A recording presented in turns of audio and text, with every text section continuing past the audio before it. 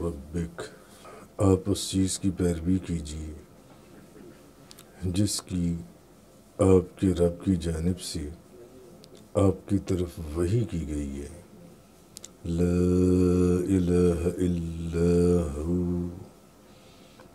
उसके सिवा कोई इबादत का मुस्तक नहीं वो आरद अनल मशरकिन और मशरकिन से एराज कीजिए।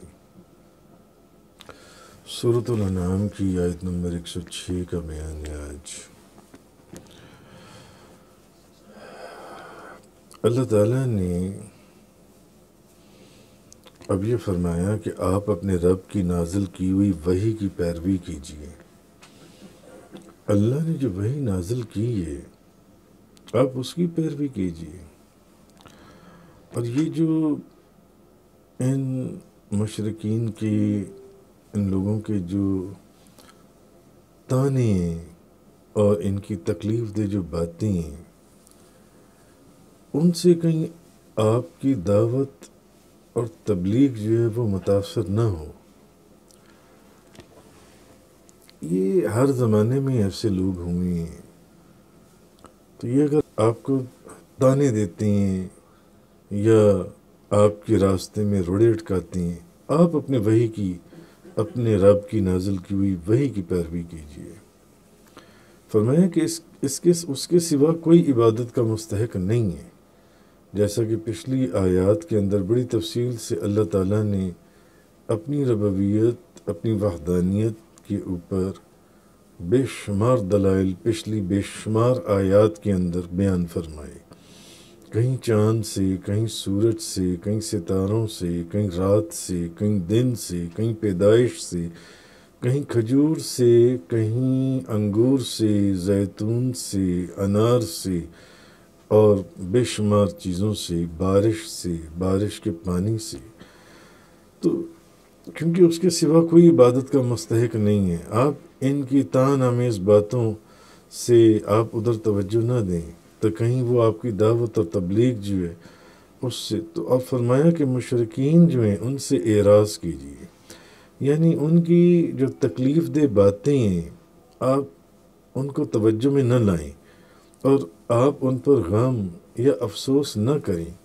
वो अगर तकलीफ़ दे बातें रास्ते में करती हैं, उनको करने दें, ताकि जो आपका मिशन है जो आपका टारगेट है, वो अपने वक्त मुकर के पर और जिस तरीके से उसको पूरा होना चाहिए, वो पूरा हो, उसको उसको कोई फ़र्क ना पड़े।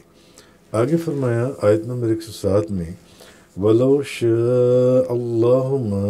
अशरकू वमा जअलनाक अलैहिम हफीज़ा वमा अंत अलैहिम बेवकील।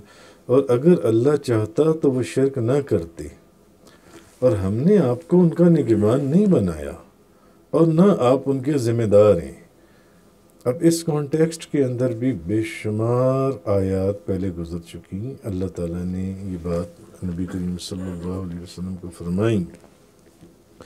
तो मशरकिन ने रसूलुल्लाह सल्लल्लाहु अलैहि वसल्लम से कहा था कि आप, जैसे कल की आयत के अंदर आपने पढ़ा था कि आप से मुजाकरात करते हैं और उनके साथ डिस्कशंस करते हैं और फिर उनसे बातों को अखज़ करते हैं और फिर उन बातों को हमारे सामने बयान करते हैं और हम पर यह ज़ाहिर करते हैं कि माज़ल्ला ये वही अल्लाह की तरफ़ से नाजिल हुई है। ये अल्लाह ने वही नाजिल की है। तो अल्लाह ताला ने फरमाया था कि उनकी जाहिलाना और ये हमाकत आमेज़ जो बातें महबूब आप उनकी तरफ़ तवज्जो न दें। तो आप उनके कुफर की वजह से क्यों परेशान होते हैं? हमने आपको उनका निगबान नहीं बनाया, या आप उनके ज़िम्मेदार नहीं हैं। आपके ज़िम्मे सिर्फ़ उनको तबलीग करना है, उन तक पैगाम पहुँचा देना है, उनको अपने अकायद बता देने अहकाम शरिया उनसे बयान कर देने उन तक हमारा पैगाम दे देना है। आगे उनका काम है कि वो इस पैगाम को कबूल करें। तो अगर उन्होंने इस पैगाम को कबूल किया तो इसका नफ़ा उनको होगा। और अगर उन्होंने आपके पैगाम को कबूल न किया तो उसका नुकसान आपको नहीं होगा, उन्हीं को होगा। तो आपके मनसब रसालत और नबूवत पर कोई असर नहीं होगा। महबूब, आप उनके ज़िम्मेदार नहीं हैं, या आप उनके निगबान नहीं हैं। आपका काम उन तक हमारा पैगाम पहुँचा देना और वो आप जैसे आपको कहा गया वैसे आप कर रहे हैं आगे फरमाया आयत नंबर 108 के अंदर वला तसब्बुल्लज़ीन यदऊन मिन दूनिल्लाहि फयसब्बुल्लाह अदवाम बगैर इल्म कज़ालिक ज़य्यना लिकुल्लि उम्मतिन अमलहुम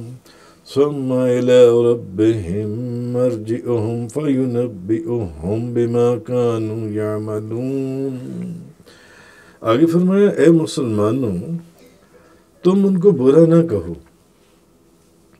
जिनकी ये अल्लाह को छोड़कर इबादत करती हैं, तुम उन्हें बुरा ना कहो।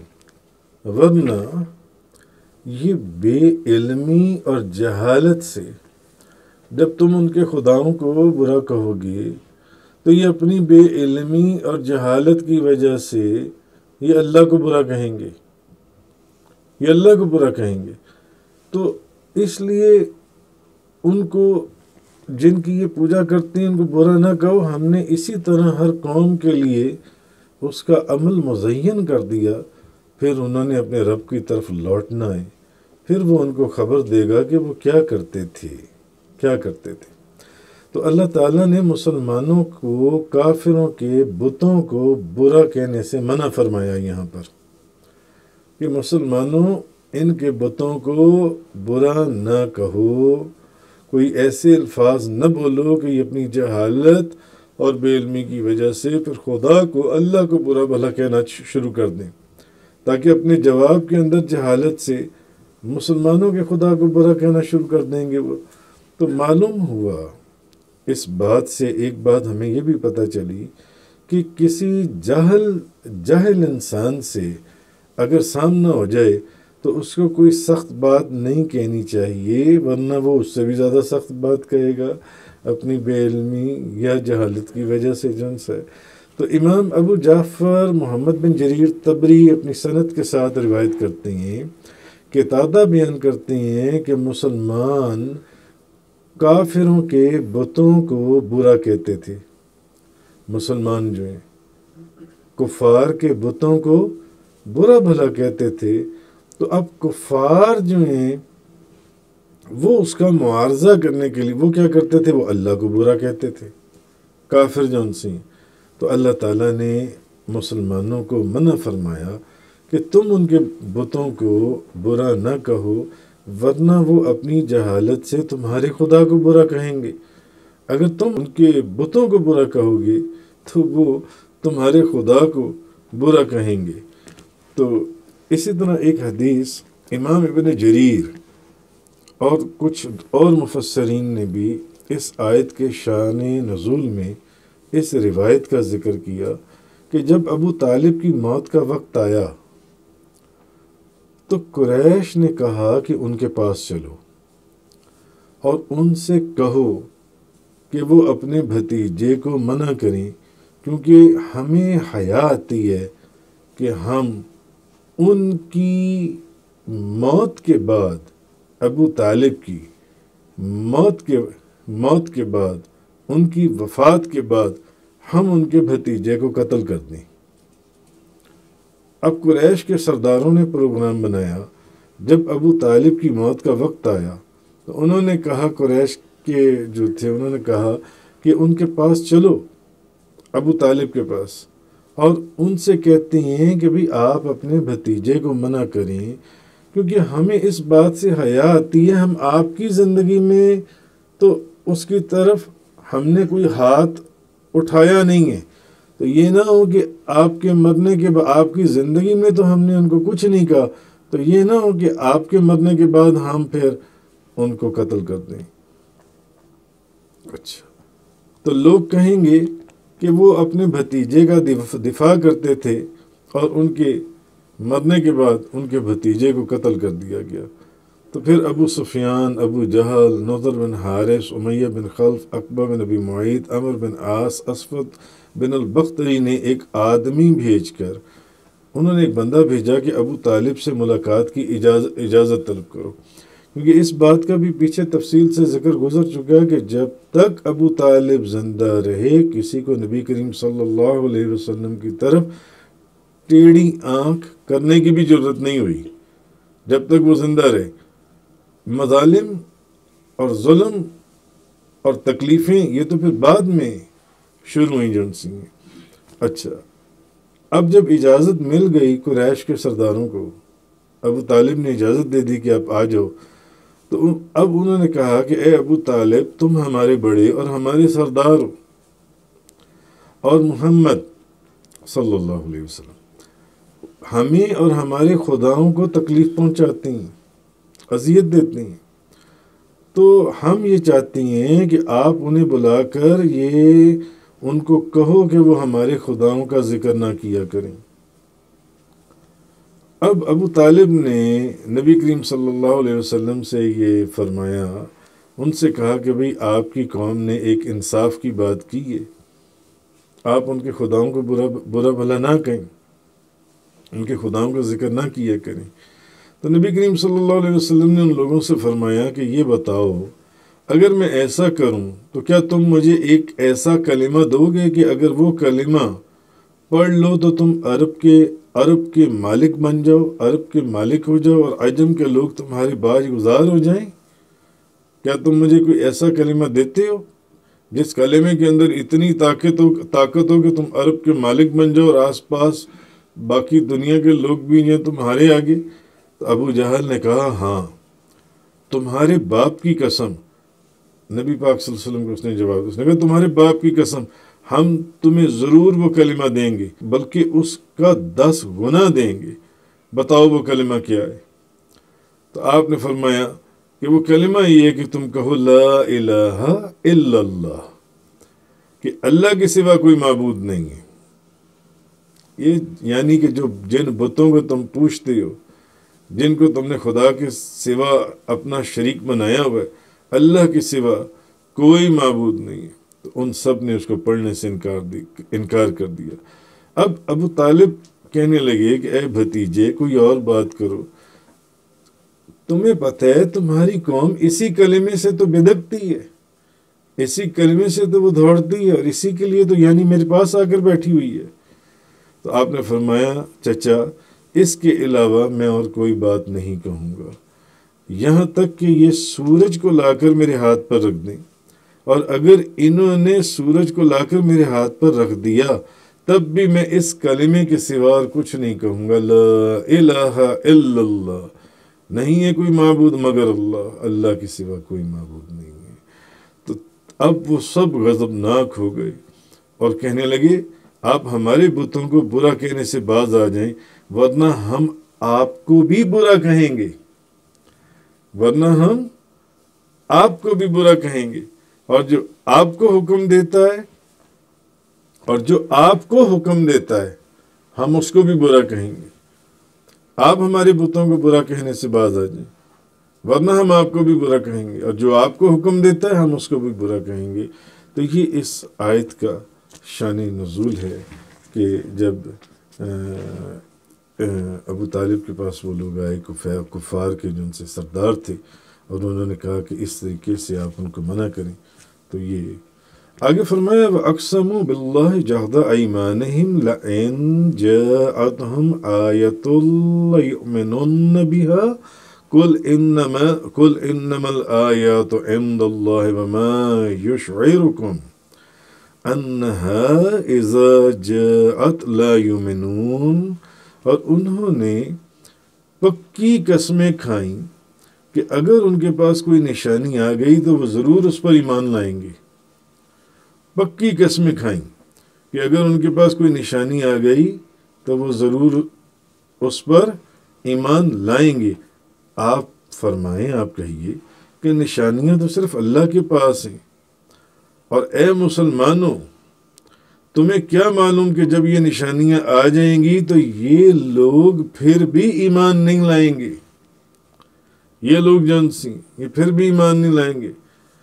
क्योंकि ये जो यहूद नसारा हैं, इन्होंने ऊपर पीछे जो आप तफसीर पढ़ रहे हैं, उसमें क्या करते थे? इनके नबी जो निशानियाँ भी पेश करते थे, जो मोजात भी ज़ाहिर करते थे, पहले ये वादा करते थे, उसके बाद ये फिर जाते थे और उन पर ईमान नहीं लाते थे, ना अल्लाह पर और अल्लाह के नबियों पर जौन सा तो इमाम अबू जाफ़र मोहम्मद बिन जरीर तबरी आप रिवायत करते हैं कि कुरैश ने नबी करीम सल्लल्लाहु अलैहि वसल्लम से कहा कि, ए मोहम्मद, आप हमें ये बताते हैं, आप हमें खबर देते हैं कि हज़रत मूसा सलाम के पास एक लाठी थी, एक डंडा था, जिसको उन्होंने पत्थर पर मारा तो उससे बारह चश्मे फूट पड़े। आप हमें ये बताते हैं कि हज़रत ईसा सलाम मुर्दों को ज़िंदा कर देते थे। और आप हमें खबर देते हैं कि समूद के पास एक ऊँटनी थी। तो आप भी उन मोजात में से कोई मोजा पेश करें ना? आप भी कोई मोजा पेश करें ताकि हम आपकी तस्दीक करें। तो नबी पाक सल्लल्लाहु अलैहि वसल्लम ने फरमाया, तुम क्या चाहते हो? कि मैं तुम्हें किस किस्म का मोजा दिखाऊँ? तो उन्होंने कहा कि आप ऐसा करें कि जब आप हमें ये बातें बताते हैं कि हज़रत मूसा अलैहिस्सलाम ने अपनी लाठी को पत्थर पर मारा तो बारह चश्मे जारी हो गए। समूद के पास एक ऊँटनी थी और हज़रत ईसा अलैहिस्सलाम मर्दों को ज़िंदा कर देते थे। तो हजूर ने फरमाया, तुम क्या चाहते? उन्होंने कहा, हम ये चाहते हैं, ये जो सफ़ा पहाड़ है ना आप इसको सोने का बना दें। आपने पूछा, अगर मैंने ऐसा कर दिया तो तुम मेरी तस्दीक कर लो, कर दोगे सारे? बताओ, तस्दीक कर दोगे? उन्होंने कहा हाँ। बखुदा, अगर आपने ऐसा कर दिया तो हम आप, हम सब आपकी तबाह करेंगे। अब नबी करीम सल्लल्लाहु अलैहि वसल्लम ने दुआ की तो हज़रत जबरील जबरील अलैहिस्सलाम हाजिर खिदमत हुए। और उन्होंने जबरील अलैहिस्सलाम ने अर्ज़ किया, उन्होंने फरमाया कि, यानी, या रसूलुल्लाह, आपको इख्तियार है। अगर आप चाहें, अगर आप चाहें तो सुबह ये पहाड़ सोने का हो जाएगा। अगर आप चाहें तो। अब उन्होंने एक चीज़, उन्होंने मगर एक बात है, अगर ये मुजजा पेश कर दिया गया और ये फिर भी ईमान न लाए तो हम इन सबको अदाब देंगे। क्यों? अल्लाह का ये तरीका है। यहूद नसारा के अंदर, या जिन पहले नबियों की उम्मतों के अंदर, या जिन पहले नबियों की कौमों के अंदर, जिन लोगों ने जो मोजे मांगे, अगर वो मोजा उनकी फरमाइश के ऊपर उनको दे दिया गया, और वो फिर भी ईमान न लाए तो उनको नीच तो नाबूद कर दिया गया। उनके ऊपर अजाब नाजिल कर दिया गया। और अगर आप चाहें तो आप इनको छोड़ दें। अगर आप चाहें तो आप इनको छोड़ दें। बजाय इसके यानी कि कोई बड़ा नुकसान हो जाए तो हती कि इनमें से तो तोबा करने वाले की तोबा कबूल कर ली जाए। इनमें से कुछ लोग तोबा करके राह रास्त और राह हिदायत पर आ गए तो आपने फरमाया, बल्कि इनमें से तोबा करने वाले की तोबा कबूल कर ली जाए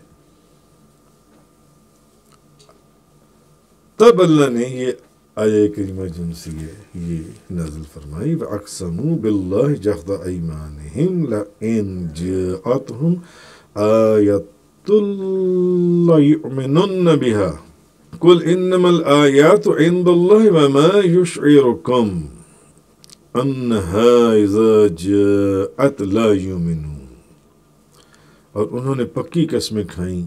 अगर उनके पास कोई निशानी आ गई तो वो ज़रूर उस पर ईमान लाएँगे। आप कहिए कि निशानियाँ तो सिर्फ़ अल्लाह के पास हैं। और मुसलमानों, तुम्हें क्या मालूम, जब ये निशानियाँ आ जाएँगी तो ये लोग फिर भी ईमान नहीं लाएँगे। आगे फरमाया व नुकल्लिब अफ़ैदतहुम व अबसारहुम कमा लम युमिनु बिही अव्वल मर्रा व नज़रहुम फ़ी तुग़यानहिम यअमहून हम उनके दिलों और आँखों को फेर रहे हैं। जिस तरह ये लोग इस कुरान पर पहली बार ईमान नहीं लाए थे, और हम उनको उनकी सरकशी में भटकता हुआ छोड़ लेंगे आयत नंबर 110 के अंदर अल्लाह तबारक ने फरमाया क्योंकि नबी करीम सल्लल्लाहु पहले नबियों का तो मामला और था। मगर नबी करीम सल्लल्लाहु अलैहि वसल्लम का तो मामला वैसे भी कुछ और था। क्योंकि आपकी, उनके अंदर मौजूद होते हुए अजाब तो नहीं आना था। तो इसलिए भी, और फिर दूसरा मामला ये भी था कि नबी करीम सल्लल्लाहु अलैहि वसल्लम कोई नबी एक मोजा लाया, कोई दो लाया, कोई दस लाया, वो नबी करीम सल्लल्लाहु अलैहि वसल्लम तो सर कद्दस के बाल मुबारक से पाँव की नाखून मुबारक आपका तो वजूद सरापा मोजा और आपके नूर की बरकत से सारे नबियों को मोजात अता हुए। तो उनका ये कहना दुरुस्त नहीं है कि आज तक हमें कोई निशानी और मोजा दिखाया ही नहीं गया, इसलिए हम ईमान नहीं लाएँगे। बल्कि इससे पहले उन्होंने अल्लाह की कुदरत की बेशुमार निशानियाँ और मुजजात देखे। मुजजात देखे क्या कि जैसे कि उनको, उनका फरमाइशी मुजजा उनको नहीं दिखाया गया जब उसने कहा, अबू जहल ने कि चाँद के दो टुकड़े कर दिए जाएँ। चाँद के दो टुकड़े कर दिए जाएँ। मगर क्या वो फिर भी ईमान लाया?